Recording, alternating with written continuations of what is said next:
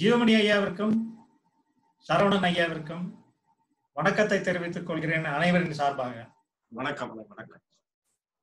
இப்போ இந்த சான்ஸ்ல இந்த முகாம்ல இந்த மீட்டிங்ல இரண்டு ஐயாக்களோட ஃபுல் ஃபோர்ஸ் டிஸ்கஷன் ஆர்குமெண்ட் தாராளமாக வச்சுக்கலாம். ஐயாட்ட அவ்வளோ தூரம் வச்சிருக்க முடியாது. இவங்களோட தாராளமாக வைக்கலாம். இவங்களுக்கு நல்ல திருப்தியான பதில் கிடைக்கும். கிடைக்கிற வரைக்கும் ஆர்குமெண்ட் வச்சுக்கலாம்.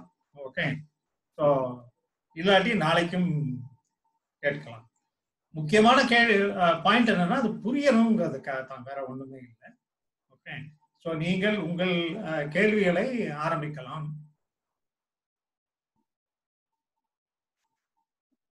இப்போ ஒருத்தர் கேட்டிருக்காங்க. நான் வந்து அங்க இதுக்கு வந்துடுறேன்.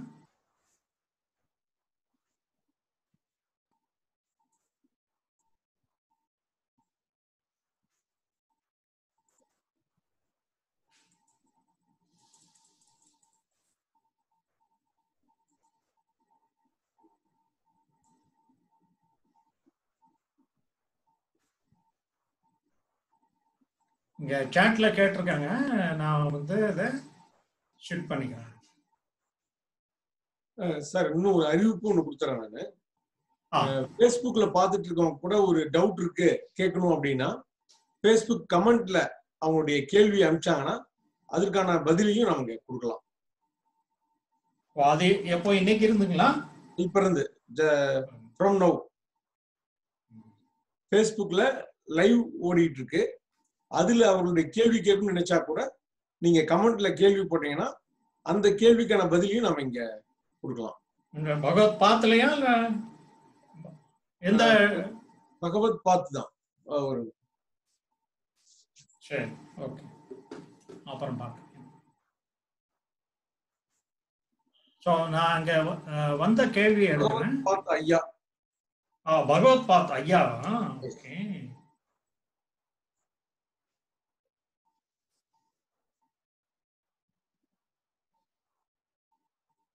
ஓகே கொஞ்சம் டைம் எடுக்கும் போல நான் இங்க கேட்டிருக்கிற கேள்விக்கு வந்துடுறேன் ஷேர் ஸ்கிரீன்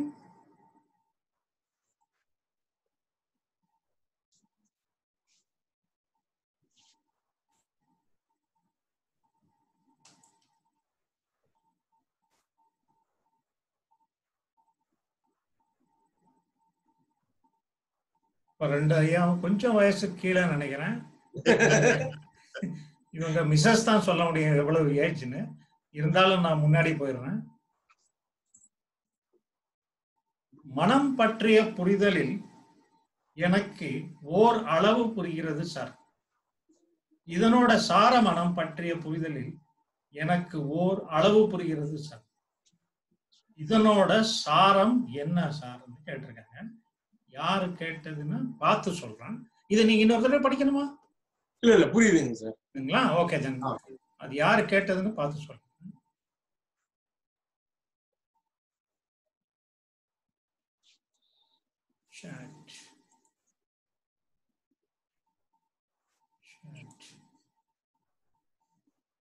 ஓ அவங்க ஒரு சிஐடி ஏ டுவெண்ட்டிங்கிற பேர்ல இருந்து இன்னும் வெளியே வரல. ஸோ வேணும்னா அவங்க இங்கேயே ஆன் பண்ணிட்டு வந்தா கேள்வி பட் கேள்விதான். அது அவங்க வந்து என்ன கேட்டிருக்காங்கன்னா ஒட்டு மொத்தமா ஞானம்னா என்னங்கிற சாராம்சம் என்ன? மனசை பத்தி என்ன புரிஞ்சுக்கணும்? ரொம்ப சுருக்கமா சாராம்சமா சொல்லுங்க அப்படிங்கிறாங்க. ஞானத்தை ரொம்ப சுருக்கமா சொல்லணும் அப்படின்னா மனசை வச்சே மனசை சரி பண்ண முயற்சி பண்ண வேண்டாம். மனசை வச்சு புறத்தில் இருக்க காரியத்தை செய்யலாம். மனசை வச்சு மனசை சரி பண்ற வேலையை மட்டும் செய்ய வேணாம். அப்படிங்கிறது தான் ஒட்டுமொத்த சாராம்சத்தினுடைய விஷயம்தான். மனதை வைத்தே மனதை சரி செய்ய முயற்சி பண்ண வேண்டாம். முயற்சி பண்ண முடியாது. அதனால அது வேண்டாம். மனதை வைத்து புற காரியங்களை செய்வோம். அப்படிங்கறத தான் நம்ம புரிதல் மூலமா தெரிஞ்சுக்கிறோம்.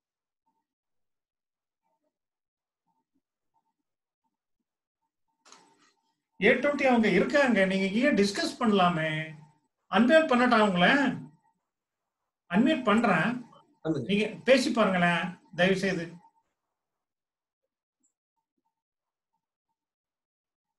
ஏ டுவெண்ட்டி அவர்களே உங்க பேர் என்ன? அவங்க விருப்பம் இல்ல பேசுறதுக்கு. சரி. வேறு யாராவது ஐயாக்களுடன் பேச விரும்புறவங்க தயவு செய்து ஹேண்ட்ஸ் ரைஸ் ப்ரொவிஷன் யூஸ் பண்ணுங்க.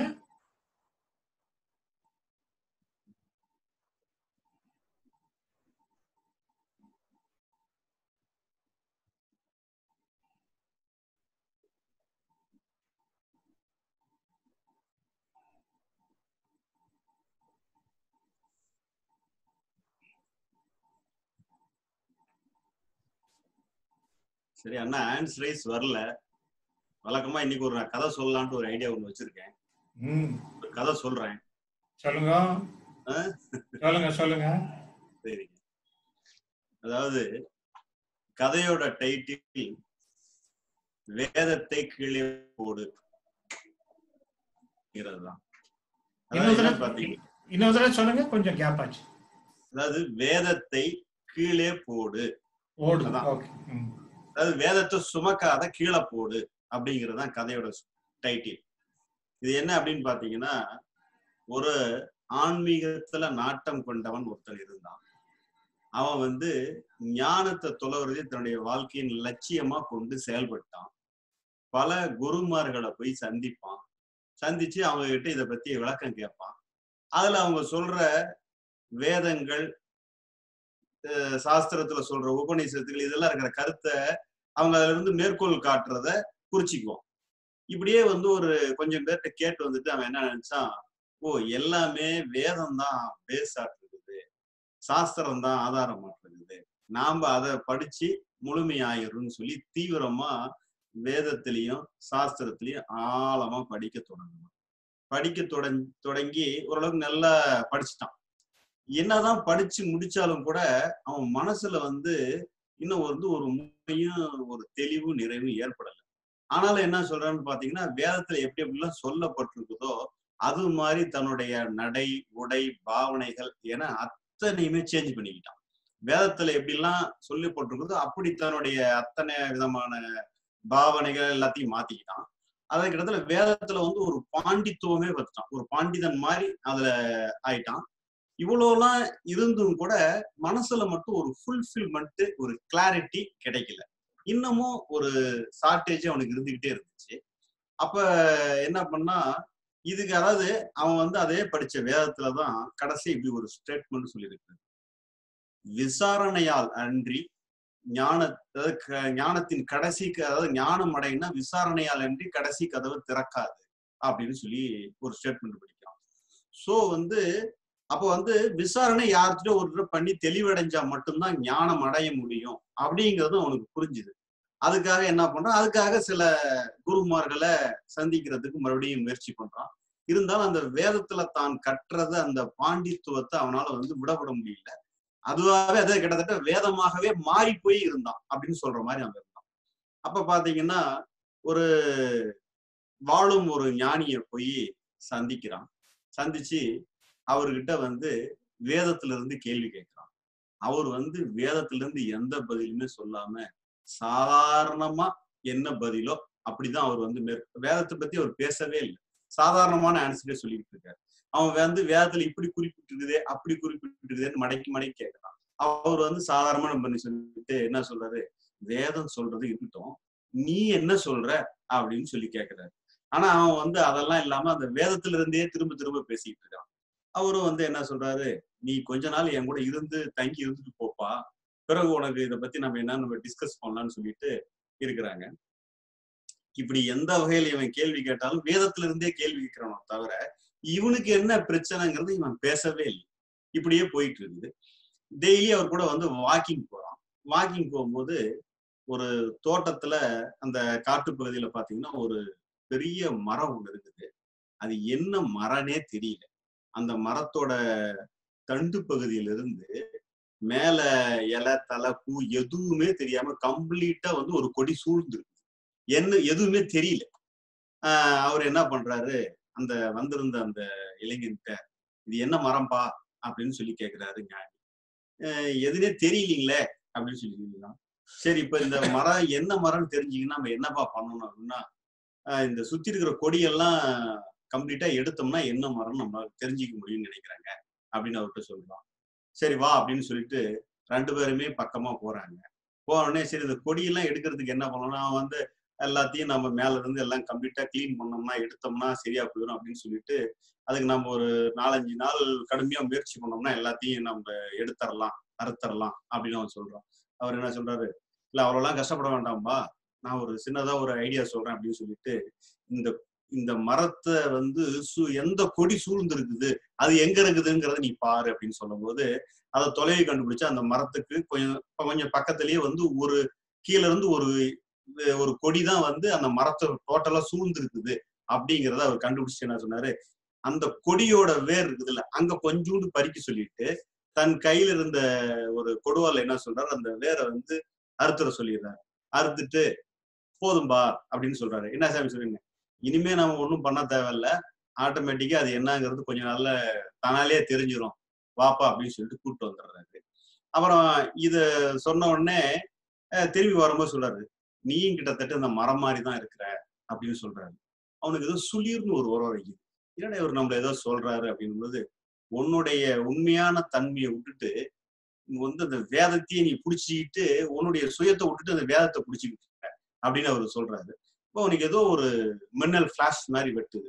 ஓ அப்படின்னு சொல்லிட்டு அப்ப இருந்து என்ன பண்றான்னா அவர்கிட்ட அந்த வேதத்துல இருந்து ஆன்சர் பண்ணாம அவனுடைய ஒரிஜினல் கேள்வி என்னமோ அத கொஞ்சம் மனம் திறந்து கேட்க தொடங்குறான். அப்பதான் ஒரிஜினலா உண்மையான ஞான விசாரணை அப்படிங்கிறது தொடங்குது. அப்பதான் வந்து அது அப்பதான் சொல்றாங்கல்ல ஞானத்தின் கடைசி கதவு விசாரணையால் மட்டுமே திறக்கப்படும் அப்படின்னு சொல்றாங்க. அது மாதிரி அப்பதான் வந்து அது வரலும் வந்து வேதத்தை எதையோ பேசிக்கிட்டு இருந்தவன் அதெல்லாம் விட்டு உண்மையில தனக்கு என்ன பிரச்சனை? தான் எங்க பாதிக்கப்படுறோம்? அதுக்கு என்ன அப்படிங்கறது அப்பதான் வந்து உண்மையான மனம் திறப்பு அப்படிங்கிறது அப்பதான் அவர்கிட்ட நிகழுது. நிகழும் போது அவர் வந்து அடுத்தது அதுக்கு விளக்கம் சொல்ல சொல்ல இப்ப என்ன பண்றான்? வேதத்துல இருந்து பதில் சொல்லாம அவனுடைய வேதத்துல இருந்து தான் உணர்ந்துகிட்ட அறிவுல யதார்த்தமா என்ன புரிஞ்சுக்கிறோமோ அதுல இருந்து அவன் பேச தொடங்கும் போது அவனுக்கு அந்த விடுதலை அப்படின்னா என்ன? புரிதல்லாம் என்னங்கிறதெல்லாம் கொஞ்சம் கொஞ்சமா விளைவிக்கிறான் டெய்லி வாக்கிங் போறாங்க. போயிட்டு இருக்கும்போது அவன் வந்து அந்த மரத்தை பாக்குறான் அப்போ அவர் சொல்றாரு நீ ஒன்னும் இது பண்ண தேவையில்ல. எதெல்லாம் காஞ்சு உழுணுமோ அதே அந்த மரத்துக்கு வந்து உரமாயிரும். நீ ஒன்றும் பண்ண தேவையில்ல. அப்படின்னு சொல்லி சொல்றாரு. கிட்டத்தட்ட ஒரு நாலு அஞ்சு நாள் ஒரு வாரம் போகுது. அப்போ வந்து இந்த அஞ்சு நாள்ல இவனும் வந்து தான் பிடிச்சிருந்த வேற அதாவது சுமந்துகிட்டு இருந்தாலும் இல்லையா? அந்த வேதம் உபநிஷத்து அந்த கருத்துக்கள் அத்தனையும் வந்து எப்படி அந்த கொடி வேற இருக்கப்பட்டதோ அந்த மாதிரி இவனுக்குள்ள சுமந்துட்டு இருந்த அத்தனையும் வந்து தன் தலையில சுமந்துட்டு இருந்ததோ தூராத்தையும் தரையறிக்கி வச்சுட்டான். தரையறிக்கி வச்சோன்னா இவன் வந்து ஒரு பலகாலம் தனக்குள்ள சுமந்துகிட்டு இருந்த ஒரு பாரத்தை கீழே இறக்கி வச்சுட்டு யதார்த்தமா அவர்கிட்ட டிஸ்கஸ் பண்றதுக்கு ஃப்ரீயா ஆக ஆக அவன் மனசே வந்து ஒரு வெயிட்லெஸ்ஸா எல்லாத்தையும் ஈஸியா அணுகிற ஒரு அணுகுமுறைக்கு அவனுடைய மனம் வர்றத உணர்ந்துட்டு உணர்ந்த உடனே இப்படியே போக போக ஒரு இன்னும் அடுத்த ஒரு ரெண்டு மூணு நாள்ல என்ன ஆகுதுன்னு கேட்டீங்கன்னா அவனுக்குள்ள இருந்த இருக்கெல்லாம் தளர்வு அடைஞ்சு ஒரு ரிலாக்ஸேஷனை அவன் ஆகிறான் அப்புறம் வந்து ஒரு நாள் வாக்கிங் அவர் வந்து நான் வரலப்பா நீயே போயிட்டு வாப்பா அப்படின்னு சொல்றாரு. முத நாள் நைட்டு பெஞ்ச மழையும் இடியில எல்லா அந்த மரத்தை சூழ்ந்திருந்த அத்தனையுமே கம்ப்ளீட்டா அந்த மரத்துக்கு கீழே உளுந்து அந்த மண்ணிலேயே உளுந்து கிடக்குது. அது எல்லாமே அந்த வேருக்கு வந்து அதாவது மண்ணுக்கு வந்து ஒரு உரமாக மாறி போயிடுது. இவன் போய் பாக்குறான். மரம் வந்து நல்ல கழிவுட்ட மாதிரி அப்படியே பளிச்சுன்னு மின்னுது. மரத்தை பார்த்தா அது வந்து ஒரு போதி மரமாகவே அவனுக்கு காட்சி அளிக்குது. இவ்வளோ பளிச்சுன்னு அதாவது தான் வந்து அதாவது எந்த சா அதாவது வேதம் உபநிஷத்து எந்த கருத்துமே வந்து நாம வந்து ஒரு அதோடைய சாரமா எடுத்துக்கலாமோ தவிர அதுவாகவே நாம் வந்து இதாயிடக்கூடாது அதுல இருந்து எந்த கருத்து வேணாலும் எது வேணாலும் எடுத்துக்கலாம். ஆனா நம்ம வந்து நம்மளுடைய ஒட்டுமொத்தமா அதுவா நம்ம இழந்துற தேவையில்லை அப்படிங்கிறது ஒரு மாதிரி அவனுக்கு புரிஞ்சுது. மரத்தை பாக்குறான் மரம் வந்து ஒரு போதி மரமா அவனுக்கு காட்சி சொல்லுது. காட்சி காமிக்குது. அப்போ வந்து மரம் இவனுக்கு சொல்லுது நீயும் புத்தன் தான் அப்படின்னு சொல்லி சொல்லுது. அவனுக்குள்ள பளிச்சுன்னு ஒரு மின்னல் வெட்டுது. தான் இவ்வளவு காலம் சுமந்துகிட்டு இருந்த இந்த பொதி சுமைகள் எல்லாம் எல்லாத்தையும் கீழே தரையிறக்கின நிலையில அவனுக்கு வந்து மிக தெளிவா அந்த விசாரணையின் மூலம் ஞானத்தை தெளிவா உள்வாங்கிக்கிறான். அப்படிங்கிறது தான் இந்த கதையை சொல்லுது. நாம வேதத்தை கீழே போடு அப்படிங்கிறது வந்து வேதத்தை குறைவாகவோ தப்பா சொல்றதுக்கு சொல்லப்படவே இல்லை. வேதத்தை நம்ம பிடிச்சுக்கிட்டு இருக்கிறது அதாவது வேதம் வந்து ஒரு டிக்ஷனரி மாதிரி ஒரு லைப்ரரி மாதிரி. எங்க வேணுமோ அதை எடுத்து பயன்படுத்திக்கிறது தான் நம்ம நோக்கமா இருக்கணுமோ தவிர வேதத்துக்கு வேதத்தையே பின்னாடி சுத்திட்டு இருக்க தேவையில்லை அப்படிங்கிறது தான் இந்த கருத்தை வச்சு இந்த கதை சொல்றீங்க இந்த கதையை நீங்க உங்களுக்குள்ள சிந்தனைக்கு எடுத்துக்குங்க. எடுத்துக்கிட்டீங்கன்னா அது உங்களுக்கு நிச்சயமா உதவி செய்யும் அப்படிங்கிறத இந்த கதையை நான் உங்களுக்கு சொல்றதுக்கு வந்தேன். இந்த கதையை நீங்க யோசிச்சு பார்க்கணும்னு சொல்லி உங்க அனைவரும் கேட்டுக்கிறேன். நன்றி. நான் நம்ம இவர் மதியழகன் ரைஸ் பண்ணியிருக்காங்க லைன் கொடுங்க.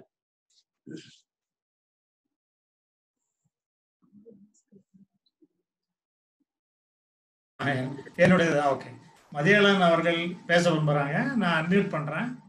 அவங்க பேசலாம். பாபு சார் வேற யாராச்சும் கேட்டிருந்தா நீங்க அவங்களுக்கு முன்னுரிமை கொடுக்கலாம். ஒரு ஒரு ஒரு கொஸ்டின் இருக்கு. அவங்க தான் முடிச்சுட்டு வரட்டா உங்கள்கிட்ட ஆ வாங்க சார் வாங்க சார். இல்ல நீங்க ஒரு கொஸ்டின் கேளுங்க. ஒரு கேப் அவங்க வருவாங்க. ஆ.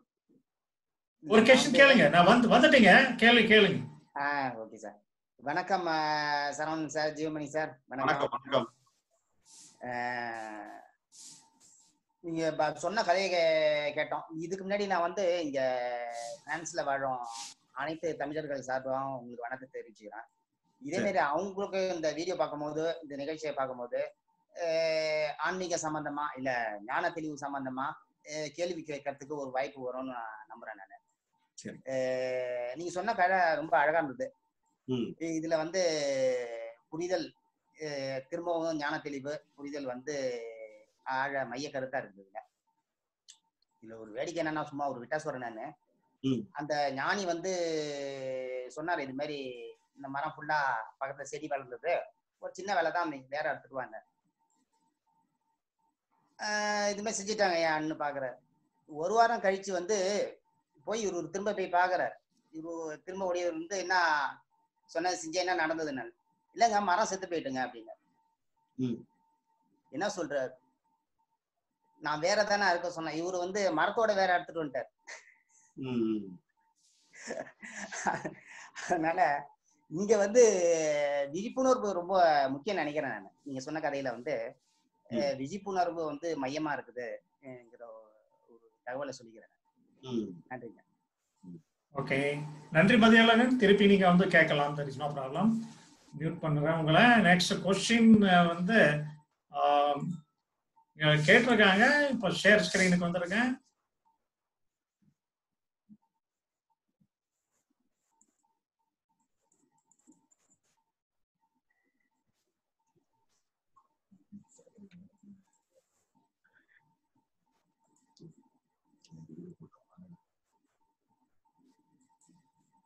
கூட்டம் ரொம்ப நல்லா இருக்கு?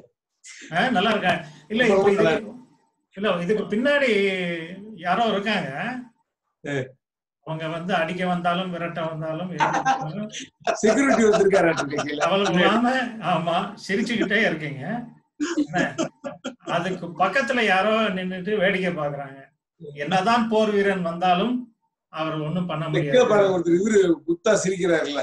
ஆமா. மேல வந்து செக்யூரிட்டி ஒருத்தர் ஆமா. சோ இவரை பார்த்து வந்து ஒரு நல்ல கேள்வி கேட்டிருக்காங்க. நீங்க எப்படி சிரிக்க முடியும்? அப்படின்னு. கேள்வி இது. வாழ்வில் என்ன பண்ணினாலும் திருப்தி வர மாட்டேங்குது. என்ன பண்றது சார்? இது முதல் கேள்வி. இப்போ இந்த கேள்வி கேட்டது பாலாங்கிறது. லாஸ்ட் கேள்வி கேட்டாங்களே ஏ டுவெண்ட்டின்னு இருந்தாங்க இல்லையா. அவங்க வந்து இந்த இன்ஸ்ட்ருமெண்ட் பேரை கொடுக்கல. எனக்கு மெசேஜ் அனுப்பிட்டாங்க. அவங்க பேர் பாலா. ஸோ அவங்களே திருப்பி கேள்வி கேட்டிருக்காங்க. இது ஒரு கேள்வி. என்ன பண்ணாலும் திருப்தி வர மாட்டேங்குது. இது எல்லாருக்கும் இருக்கக்கூடிய கேள்விதான். ரெண்டாவது ஸ்டூடெண்ட்ஸ் படிப்பதெல்லாம் மறந்துடுது சார். என்ன பண்றது எப்படி படிப்பது? ம். இப்ப இந்த ரெண்டு கேள்வி ஒவ்வொன்றாக்காக பதில் சொல்லவும் நான் வந்து உங்க ஸ்கிரீனுக்கு வரேன். வணக்கங்கய்யா.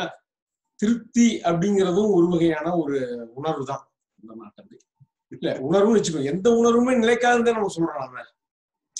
எந்த உணர்வுக்குமே அரை வினாடி தான் ஆயுங்கும் போது திருப்தி அப்படிங்கிறதும் ஒரு வகையான உணர்வு தான். அது எதுவுமே பர்மனண்டா இருக்காதுங்கும் போது கண்டிப்பா அதுவும் ஏற்படுறதுக்கு வாய்ப்பு இல்லை. அதையும் எதிர்பார்க்கறத விட்டுறதுதான் சரியான ஒரு நிலை. ஒரு ரெண்டு நாள் முன்னாடி ஐயாட்ட பேசிட்டு இருக்கும்போது ஒருத்தர் கேள்வி கேட்டார் ஐயா கிட்ட ஏன் மன நிறைவு ஏற்பட மாட்டேங்குது ஐயான்னு சொல்லி ஐயாட்ட கேட்டாங்க. அதுக்கு ஐயா சொன்ன அப்படி ஒரு நிலையே இல்ல பாருங்க அப்படின்ட்டாங்க ஐயா. ஏன்னா மன திருப்தி மன நிறைவு. மன திருப்தின்னு ஒரு பர்மனண்டான நிலை எதுவுமே கிடையாது. அது அவங்களுக்கு இல்லை எல்லாத்துக்கும் இருக்கக்கூடிய விஷயம் தான் அதையும் எதிர்பார்க்காம விட்டுட்டா எல்லாம் சரியாயிடும். அதுல இருந்து விடுபட்டுருவோம். அடுத்த கேள்வி கேட்டிருக்காங்க எப்படி வந்து படித்ததெல்லாம் மறந்து விடுகிறத என்ன பண்றதுன்னு கேட்டிருக்காங்க. எதுக்கு நம்ம இம்பார்ட்டன்ட் கொடுக்குறோமோ அது கண்டிப்பா மறக்காது. இம்பார்ட்டன்ட் இல்லாதது கண்டிப்பா மறந்துதான் போகும். இன்னோட பாருங்க ரொம்ப முக்கியமான எப்பவோ நடந்த நிகழ்வை நம்ம இப்ப பேசுவோம். ஏன்னா அதுக்கு நம்ம இம்பார்ட்டன்ட் கொடுத்துருக்கோம். அதுக்கு அடுத்த நாள் என்ன சாதாரண நிகழ்வு எல்லாமே மறந்துதான் போகும். தேவையானது நிற்கும். நம்ம எது தேவையானதுன்னு நினைக்கிறோமோ எதுக்கு நம்ம முக்கியத்துவம் கொடுக்குறோமோ அது கண்டிப்பா மனசுல நிற்கும். முக்கியத்துவம் கொடுக்காதது கண்டிப்பா மனசுல இருந்து விலகிடும். நம்ம ஒரு நம்ம இன்னொரு ரெண்டு மூணு நாள் கழிச்சு ஸ்டூடெண்ட்டுக்காக ஒரு ப்ரோக்ராம் பண்ணலாம் அப்படின்னு ஐயா சொல்லியிருக்காங்க. அது என்னைக்கும் டேட் ஃபிக்ஸ் பண்ணணும். அன்னைக்கு மட்டும் காலையில டென் டு மதியம் ஒரு மணி வரையிலும் வச்சுக்கலாம். இந்த ப்ரோக்ராம்ல வந்து ஸ்டூடெண்ட்ஸ் அண்ட் பேரண்ட்ஸ் வந்து கலந்துக்கலாம்.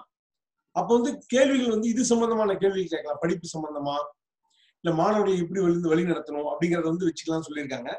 அந்த டேட்டை நீங்க சாயந்தரம் ஃபிக்ஸ் பண்ணிட்டு பாபுலால் ஐயாக்கிட்டையும் டிஸ்கஸ் பண்ணிட்டு நாம ஒரு அனௌன்ஸ் பண்ணிடலாம். அப்போ வந்து இது சம்பந்தமான கேள்வி இன்னும் டீப்பா நம்ம போகலாம் ஓகே அடுத்து இன்னொரு கேள்வி ஃபேஸ்புக்ல இருந்து ஒருத்தன் கேட்டிருக்காங்க. அதையும் நான் வாசிச்சேன் நான். நம்ம சொன்னதுனால அவங்க வந்து கேள்வி கேட்டிருக்காங்க. அமைதியாக அமரும் போது மனம் ஏதோ ஒரு எண்ணத்துடன் சில நிமிடங்கள் லயத்தில் இருக்கிறது. ஆனால் உங்கள் கருத்தின்படி அந்த லயத்தில் இருக்கும் மனதை விட்டு வெளியே வருவதும் எதிரானது தானே அப்படியே அமைதியாக இருப்பதால் அதுவாகவே அதுவாக லயத்திலிருந்து வெளியே வந்து விடுமா? அப்படின்னு ஒரு கேள்வி கேட்டிருக்காங்க ஃபேஸ்புக்ல அதாவது ஆட்டோ லயம் ஆகுதுன்னு வச்சுக்கோங்க. அதை ஒன்றும் பண்ண முடியாது. எப்ப நமக்கு தெரியுதோ அப்ப ஆட்டோ அதாவது அது வந்து லய நாசமும் ஆட்டோமேட்டிக்கா ஆயிடும். நம்ம லயம் வந்து தானாகவும் நடக்கும். நாமளாக முயற்சி பண்ணியும் கொண்டு வரலாம். ஆனா லய நாசத்தை தானா மட்டும்தான் நடக்குமே தவிர முயற்சியால ஒருபோதும் கொண்டு வரவே முடியாது. லயம் என்பது மனோலயம் என்பது தாமாகவும் ஏற்படும். நம்ம முயற்சி பண்ணியும் ஒரு லயத்தை கொண்டு வரலாம். மனோலய நாசம் என்பது எப்பொழுதுமே தாமாக தான் நடைபெறும். நம்மளால கொண்டு வரவே முடியாது. அத நம்ம அது லயத்தை வச்சு லயநாசத்தை அடைய முடியாது. அது புரிஞ்சுக்கணும்னா போதும். இந்த கேள்விக்கான பதிலும் கொடுத்தாச்சு. வேற ஏதாவது கேள்வி இருந்தா நம்ம ரெண்டாவது இன்னொன்னு சொல்லி நினைச்சிட்டு இருந்தேன் இந்த விழிப்புணர்வு அப்படிங்கிற ஒரு வார்த்தை வந்து ஆன்மீகத்துல ரொம்ப அதிகமா பேசிட்டு இருக்காங்க. விழிப்புணர்வு அடையணும் விழிப்புணர்வு அடையணும்னு சொல்லிட்டு ரொம்ப அதை பத்தி எத்தனையோ ஆன்மீக வாட்ஸ்அப் குரூப்லயும் வருது. அந்த விழிப்புணர்வுங்கிறத எதை நினைச்சிட்டு அப்படி சொல்றாங்கன்னு ஒரு தப்பான ஒரு கருத்துல வச்சிட்டு இருக்காங்க. விழிப்புணர்வு அப்படிங்கறது வந்து ஒரு கவனம் அல்லது அவேர்னஸ் அப்படின்னு வச்சுக்கலாம். ஆனா ஆன்மீகத்துல அடைய வேண்டியது அவேர்னஸ் அல்ல அவேக்கனிங் அவேக்கனிங் அப்படிங்க அப்படின்னு சொல்றது வந்து விழிப்பு அவ்வளவுதான். விழிப்பு அடைகிறது தான் அது. விழிப்பு வேறு விழிப்புணர்வு வேறு. விழிப்பு அப்படிங்கிறது வந்து விடுதலை. அதாவது அறிவு வந்து உள்ள விழிப்படைஞ்சிச்சு உள்ள ஒரு மயக்கத்தில் இருந்த அறிவு விழிப்படைந்து விடுதலை அடைஞ்சிருச்சு. ஆனா விழிப்புணர்வு என்பது நம்ம அங்க நமக்கு அங்க வேலை இருக்குன்னு அர்த்தம். விழிப்புணர்வு அப்படின்னா ஹண்ட்ரட் பர்சன்ட் அங்க செயல் இருக்கு. விழிப்புல செயலே கிடையாது. ஒன்ஸ் விழிச்சா விழிச்சது தான் அங்க நமக்கு வேலை இல்லைன்னு விழிச்சிடுச்சு விழிச்சதுனால விடுதலை அடைஞ்சிச்சுன்னு சொல்றோம் நாம இதை பத்தி நம்ம இந்த மேகசின்ல கூட ஒரு சின்ன ஒரு ஆர்டிகல் போட்டிருக்கோம். ஆஹ் அதையும் உங்களுக்கு தெரிவிக்கணும்னு நினைச்சிட்டேன். நன்றி. வேற ஏதாவது கேள்வி இருந்தா கேட்கலாம். யோகி யோகி சுரேஷ் அவங்க கேட்க விரும்புறாங்க என்ன நீங்க ஒரு ஒரு ஒரே ஒரு நிமிஷம் ஒரே ஒரு நிமிஷம். யோகி நீங்க கேள்வி கேட்க விரும்புறீங்களா? ஆமா அவங்க வந்து பேசணும்னு சொல்லியிருக்காங்க. நீங்க அட்மிட் பண்ணி பாருங்க இல்ல அந்த தம் ரைஸ் பண்றாங்க. தம் ரைஸ் பண்ணிட்டு அப்படியே விட்டுறாங்க. இல்ல நீங்க நீங்க நான்- கொடுக்குறேன் கொடுக்குறேன். ஒரு நிமிஷம். யோகி சுரேஷ். இல்லையா okay why name should be there at the end?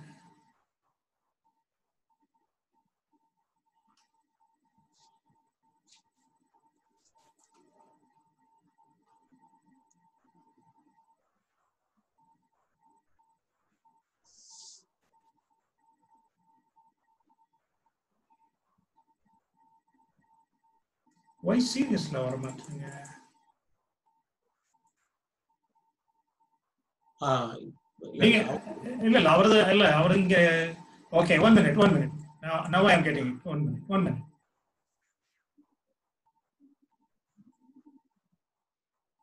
unmute பண்ணிட்டு இருக்கேன்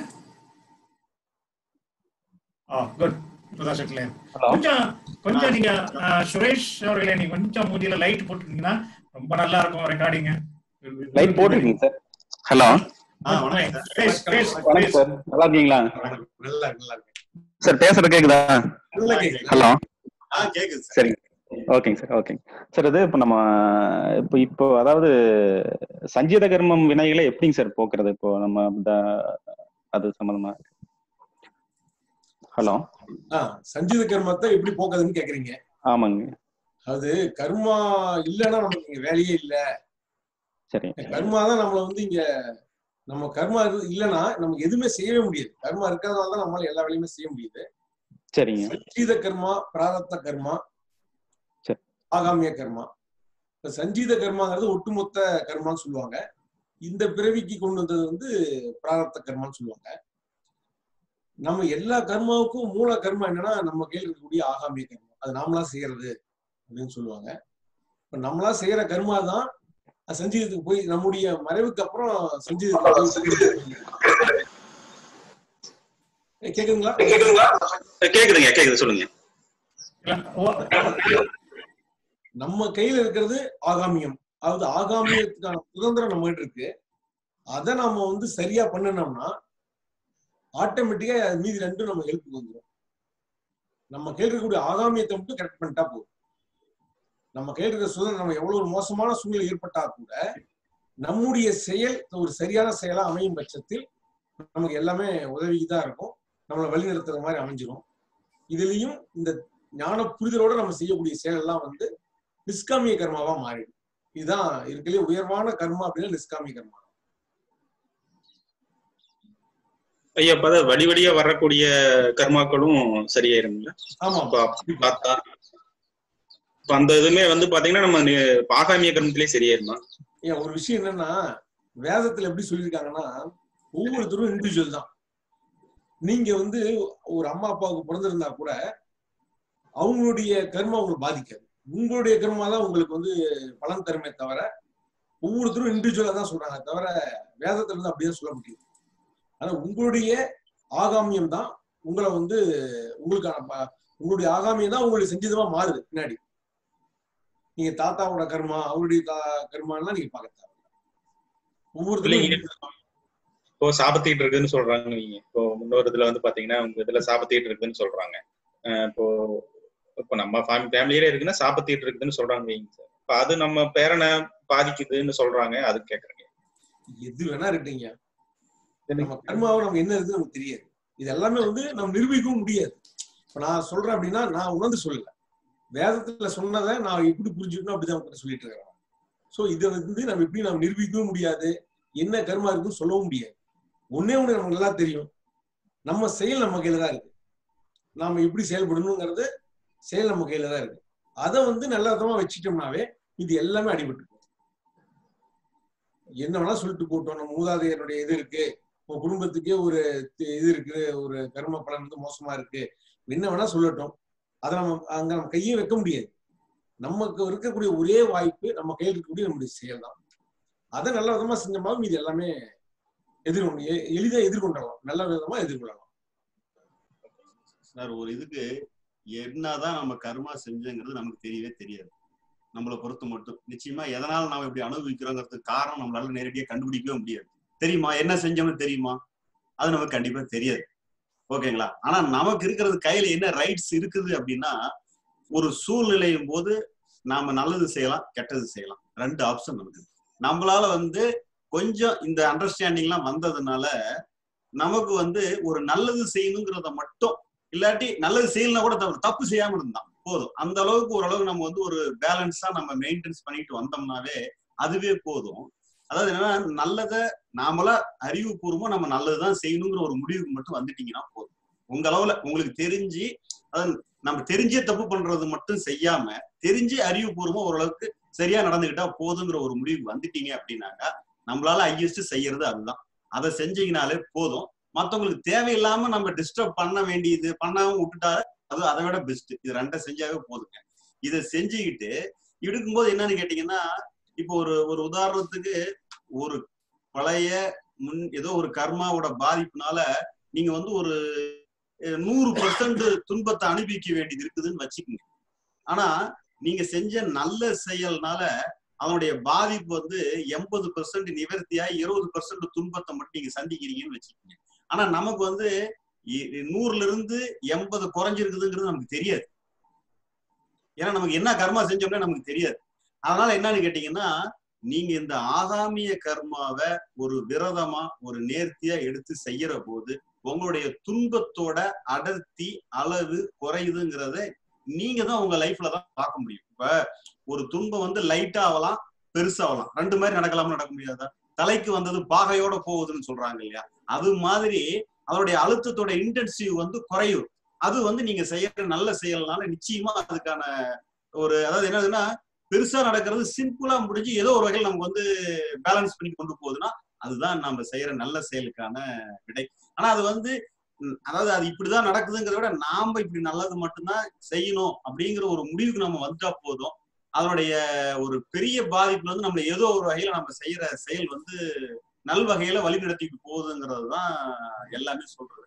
அதை வந்து நீங்க உங்களுக்குள்ள ஒரு பாசிட்டிவா எடுத்து நீங்க செயல்படுத்தி பார்க்கும் போதும் உங்க அனுபவத்துக்கு தெரியும். பழசு நீங்க எவ்வளவு தூரம் தாக்கம் அடைஞ்சீங்க. இப்ப ஏதோ ஓரளவு ஒரு அதாவது சிக்கல்லாம் வரவே வராதுன்னு சொல்ல. வந்தா கூட அதுல இருந்து ஈஸியா மீண்டு வெளியே வர்றதுக்கான வழி வருதுன்னா ரொம்ப நேரம் நீடிக்காம அதுல இருந்து வெளியே வந்தவே நல்லது தானே. அந்த மாதிரி ஒரு சூழ்நிலையை உருவாக்குற தன்மை நீங்க செய்யற நல்ல ஆகாமியத்துக்கு இருக்குது.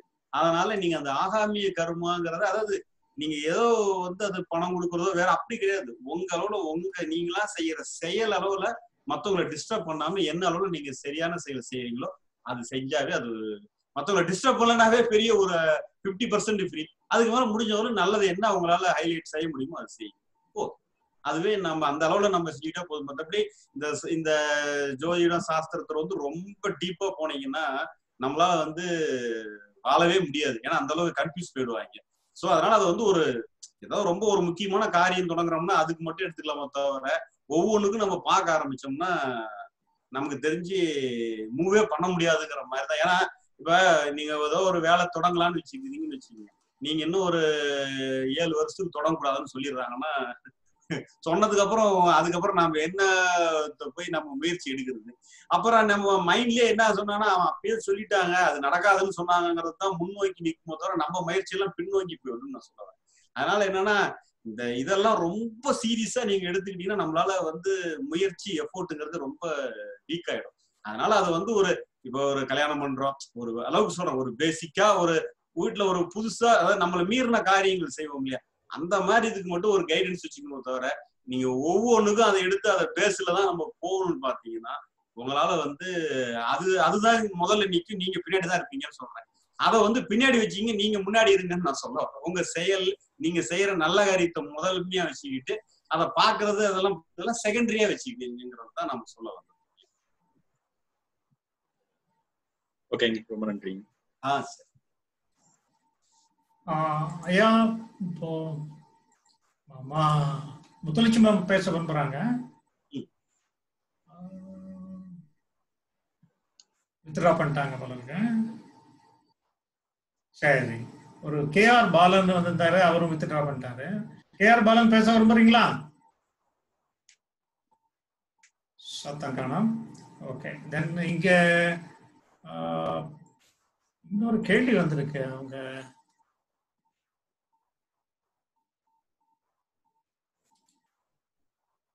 நியூ ஸ்லைடு முத்துலட்சுமி வராங்க. ஆ ஓகே ஓகே ஓகே வந்துட்டோம் வந்துட்டோம். ஒன் மினிட் ஸ்க்ரீன் வேற ஸ்க்ரீன்ல இருக்கு முத்துலட்சுமி.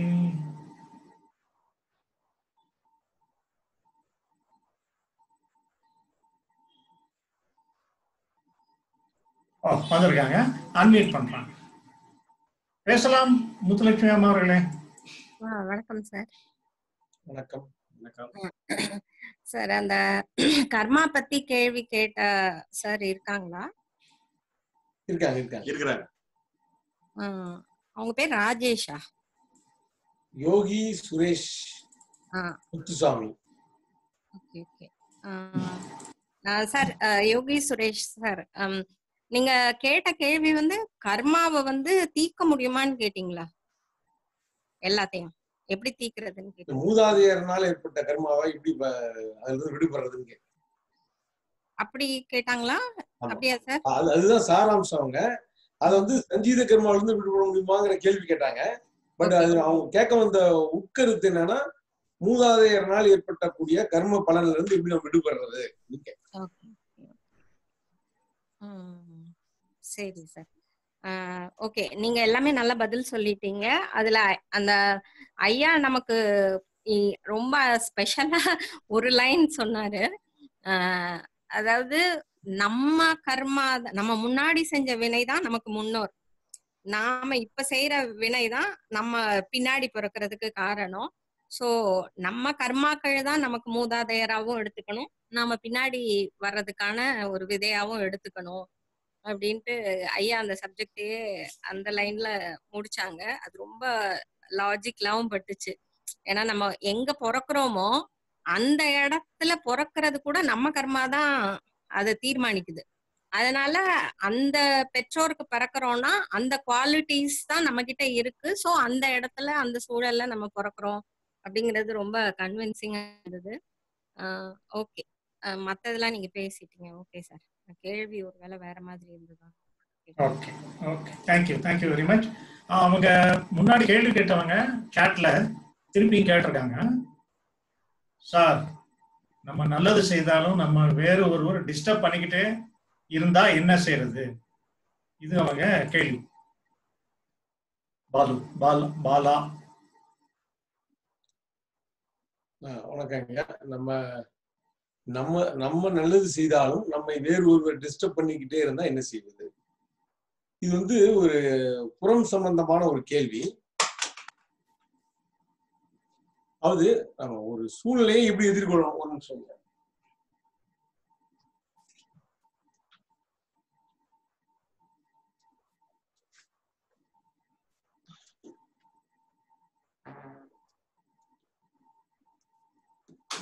இது வந்து இங்க ஒரு புறம் சம்பந்தமான ஒரு கேள்வி. நம்ம ஒரு வேலை செஞ்சுட்டு இருக்கோம் நல்ல விஷயத்தை செஞ்சுட்டு இருக்கோம் நம்மளை ஒருத்தங்க டிஸ்டர்ப் பண்றாங்கன்னா நமக்கு தான் வந்து அந்த டிஸ்டர்ப் அனுபவிக்கிறாங்கல்ல. அவங்களுக்கு தான் தெரியும் அது எப்படி அவாய்ட் பண்ணணும் அப்படின்ட்டு. ஒண்ணு அந்த சூழ்நிலை விட்டு விலகி போகணுமா? இல்ல அவங்கள வந்து நேரில் கூப்பிட்டு டிஸ்கஸ் பண்ணி பேசணுமா? இல்ல வேற எங்கேயாவது கம்ப்ளைண்ட் பண்ணுமா? இல்ல இது பொறுத்து கொள்ளக்கூடிய விஷயமா? அப்படிங்கிறது அந்த விஷயத்தை பொறுத்த ஒரு விஷயம் அது. இதுக்கு வந்து ஒட்டுமொத்தமா எல்லாத்துக்கும் நம்ம ஒரே மாதிரியான பதில வந்து கொடுத்துட முடியாது. அந்த டிஸ்டர்ப அனுபவிக்கிறவங்களுக்கே தெரியும். இது எப்படி அவாய்ட் பண்ணலாம்? இது எப்படி டீல் பண்ணணும்? அப்படிங்கிறது இது அவங்களுக்கே தெரியும். பொதுவா அகம் சார்ந்த ஒரு சந்தேகத்துக்கு பதில் வந்து எல்லாத்துக்குமே ஒண்ணுதான். நாம ஒண்ணும் பண்ண முடியாதுங்கிறது தான். ஆனா புறம் சார்ந்த ஒரு கேள்வி வருது அப்படின்னா அதுக்கு வந்து ஒவ்வொருத்தரும் ஒரு பதில் சொல்லலாம். எந்த பதில் சொன்னாலும் யாருக்கு அந்த பதில் தேவையோ அவங்க அறிவுக்கு அது ஒத்து போகுதான்னு பார்த்து அந்த அந்த வந்து முடிவு எடுக்கணும். அதனால இதுக்கு வந்து அவங்களுக்கே தெரியும். எப்படி டிஸ்டர்ப் வந்து அவாய்ட் ஆகுறதுங்கிறது நாம தான் முடிவு பண்ணணும். ஒரு சூழ்நிலையை சொல்லி சொன்னாங்கன்னா ஒரு நிகழ்வை சொல்லி சொன்னாங்கன்னா அதுக்கு எக்ஸாக்டா நம்மளால பதில் சொல்ல முடியும். மற்றபடி இது ஒரு பொதுவா கேள்வி கேட்கும்போது நாம புறத்துல ஒரு அறிவுள்ள மனிதன் எப்படி நம்ம அதை அவாய்ட் பண்ணணுமோ அது வந்து எப்படி எஸ்கேப் ஆகி நம்முடைய சரியான செயலை தொடரணுமோ அப்படிங்கறத அவங்க தான் முடிவெடுக்கணும்.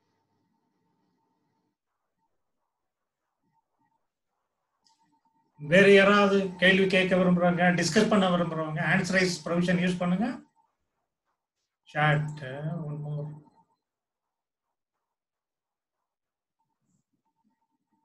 Okay. Mathiyazhagan திருப்பி பேச விரும்புறாங்க. அன்மியூட் பண்ணிருக்கேன் மதியழகன் நீங்க பேசலாம். சார் வணக்கம். வணக்கங்க. மீண்டும் வணக்கம் சொல்றேன். நீங்க இந்த கர்மா அவர் கேட்டார்ல கர்மா சம்பந்தமா கேள்வி கேட்டாரு.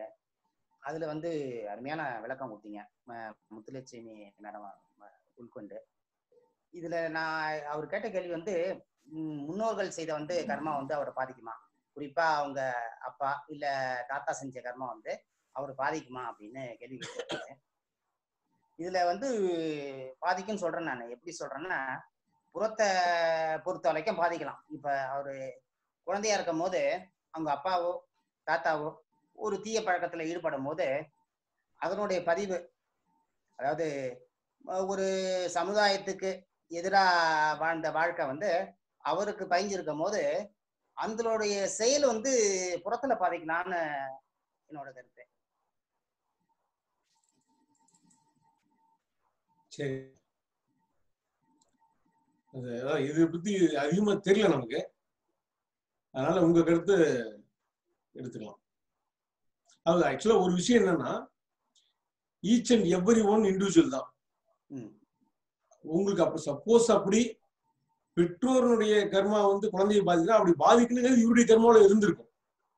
இல்ல இது இந்த பாதிப்பு வந்து அவர் அகத்துல தான் அகத்தை வந்து எடுத்துக்கிறாரு. அகத்துல எடுத்துக்கூடாது. இது வந்து நீங்க சொல்றபடி இண்டிவிஜுவாலிட்டின்னு சொல்லும் போது இப்ப வந்து புறத்துல பாதிக்கலாம். இப்ப நம்ம தவறா அப்பாட்ட இருந்தோ தாத்தாட்ட இருந்தோ ஒரு தவறான செயலை வந்து நம்ம கத்துக்கிட்டோம்னா நம்ம சின்ன வயசா இருக்கும்போது நமக்கு தெரியாது.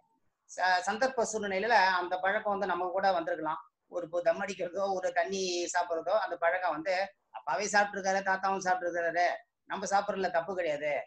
ஆஹ் அவ- அவரோட இப்ப பழக்க வழக்கங்கள் வரும்போது பிறகு வந்து அவருக்கு குழந்தையோ வரும்போது இல்ல சமுதாயத்தெல்லாம் திருத்தப்படும் போது ஆஹ் ஆகா நம்ம தப்பு செஞ்சிருக்கிறோம். இப்ப அததான் கர்மான்னு கர்மாங்கிறது வந்து அந்த செயல் வந்து இவர் வந்து புறத்துல பாதிக்கிறது என்னோட கருத்து. இப்ப நீங்க சொல்றது இண்டிவிஜுவாலிட்டி அகத்துல வந்து அருமையான சொன்னாங்க. முத்துலட்சுமி மேடம் அவங்க சொன்னதும் அருமையான கருத்துங்க. இது கூட பகிர்ந்துக்கணும்னு ஆ சரி. நன்றி.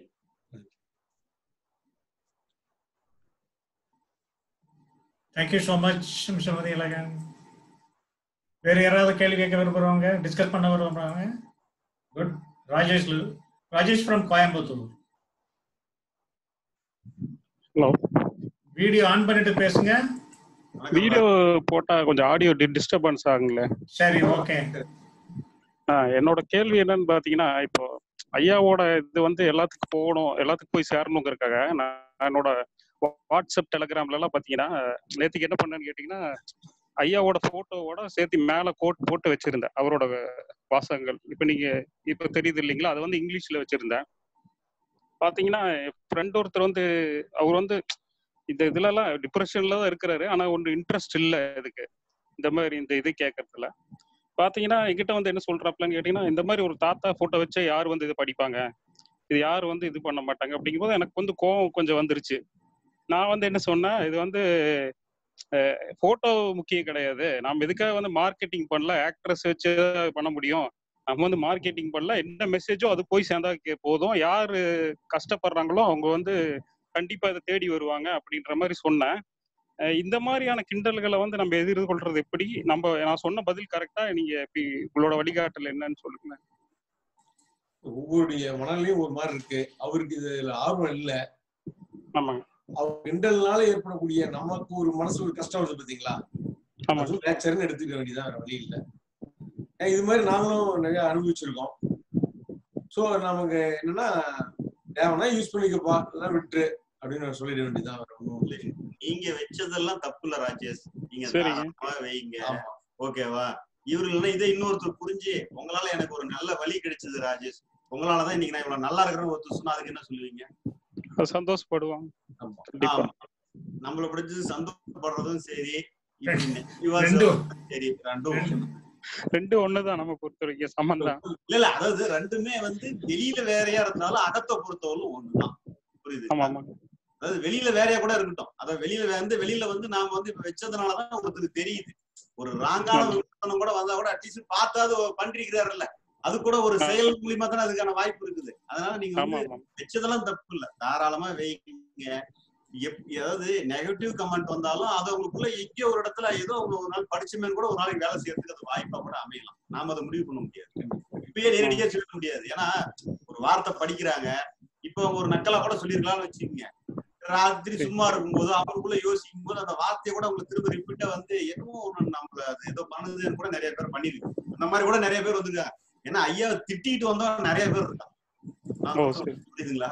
இவர் உண்டு இல்லைன்னு பாத்துடணும்னு கோபமா வந்தவங்க பல பேர் வந்து சரியா இருக்கிறாங்க அந்த அளவுக்கு கூட இருக்கிறாங்க. அதனால அதெல்லாம் நம்ம அதெல்லாம் ஒரு வர்றதுக்கான வழித்தனமா எடுத்துக்கணும் தவிர அவங்கள வந்து நம்ம இதனாலே நீங்க வந்து அவங்கள வந்து சரியில்லை அப்படின்லாம் எடுத்துக்காது நீங்க படிங்க. சப்போஸ் அவர் இன்னும் ஒரு ரெண்டு மூணு நாள் தொடர்ந்து படிக்கிறாருன்னு வச்சுங்க இன்னும் ஒண்ணு ராஜேஷ் வச்சுக்கிட்டே இருக்கிறாரு? என்னன்னு தெரியல அப்படின்னு கூட அவருக்கு ஒரு சிந்தனை வரலாம். நாமே அதை போய் நினைப்பாரு. நாம சொல்றதோட நம்ம வேலை முடிஞ்சு. எடுத்துக்கிறது எடுத்துக்காது அவருடைய சொந்த கருத்து. அவருக்கு விமர்சனம் பண்றதுக்கு உரிமை இருக்குது நீங்க அதை எப்படி எடுத்துக்கிறீங்கிறது தான் உங்க கருத்து. சரிங்க தேங்க்ஸ் ஓகே தேங்க்யூ ராஜேஷ் இப்போ ஒரு கேள்வி கேட்டிருக்காங்க அந்த கொஸ்டின் மாஸ்டர் பாலா. இப்போ வந்து ஒரு நிமிஷம்.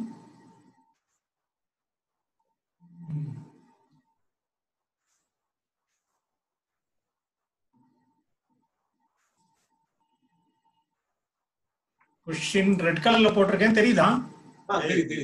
நமது எண்ணங்கள் நம்மை சுற்றி உள்ள நபரை பாதிக்குமா அப்படின்னு கேட்டிருக்கேன். எண்ணங்கள் நம்மை சுத்தி உள்ள நபரை பாதிக்குமா அப்படின்னு கேட்டிருக்கேன். நமது செயல் தான் பாதிக்கும். நமது எண்ணங்கள் கண்டிப்பா பாதிக்காது. நம்ம செயல் தான் மற்றவங்க சுற்றி உள்ள நபர்களுக்கான ரியாக்ஷன் உண்டாகும். நம்ம செயல் தான் பாதிக்கும். நல்ல விதமாகவும் மோசமாகும். மோசமாகவும் எண்ணங்கள்ங்கிறது என்ன வந்திருக்குதுன்னு தெரிஞ்சுக்கிறதுக்கு உதவி செய்யுமோ தவிர அது நேரடியா பாதிக்கும்னு சொல்ல முடியாது. தாட்டுன்றது வந்ததுக்கு பிறகுதானே தெரியும். அப்புறம் அது எப்படி பாதிக்கும்னு சொல்ல முடியும். முதல்ல வந்த எண்ணங்கிறது எண்ணம்ங்கிறது வந்த வாட்டி தான் எனக்கு இந்த எண்ணம் வந்திருக்குதுன்னு நம்ம தெரிஞ்சுக்கிறோம். அந்த அளவுக்கு தான் அது வேலை செய்யுது. அதுக்கப்புறம் திங்க் பண்றதும் செயல் பண்றதுங்கிறதுல தான் திங்க் பண்றதுங்கிறது நம்ம உள்ள சார்ந்தது. செயல் பண்றதுங்கிறது தான் மத்தவங்களோட தொடர்பு கொள்றது. அதனால வந்து அந்த மத்தவங்களோட டீல் பண்றதுல மட்டும் நீங்க ஒரு நிதானத்தை கடைபிடிச்சு நீங்கன்னா போதும். மித்த ரெண்டு நிலையும் நேச்சுரல் எடுத்துங்க அது தன்னாலேயே அது சப்ஸ்டேட் ஆகும் சரவணம் கூட அடிக்கடி சொல்லுவோம் அப்படி. அது என்னன்னு கேட்டீங்கன்னா நல்லா இருக்குன்னு நினைச்சு நான் மனசுல நல்லா வேண்டிட்டேன். நீ நல்லா இருப்பா. நீ நல்லா இருக்கணும். ஒரு குறைய வரக்கூடாது வேண்டிட்டேன்.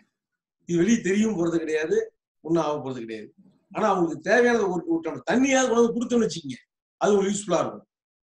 அப்ப என்னன்னு கேட்டீங்கன்னா நம்முடைய செயல் தான் ஒரு பலனை கொடுக்குமே தவிர செயல் தான் கர்மாவை உண்டாக்குதே தவிர எண்ணங்கள் கர்மாக்களை உருவாக்குவது இல்லை ரெண்டே விஷயம் தான். மலையளவு பேச்சை விட கடுகளவு செயல் சிறந்தது.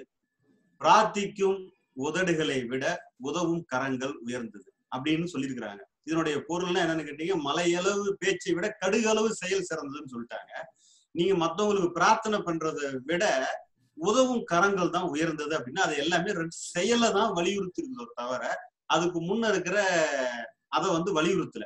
எண்ணங்களையோ எதையோ ஒண்ணு வலியுறுத்தலங்கிறது தான் அவனுடைய கோர் மெசேஜ் நாம என்னன்னா எண்ணங்களை விட செயலுக்கு முக்கியத்துவம் கொடுப்போம். செயல் மட்டும்தான் பதியுது.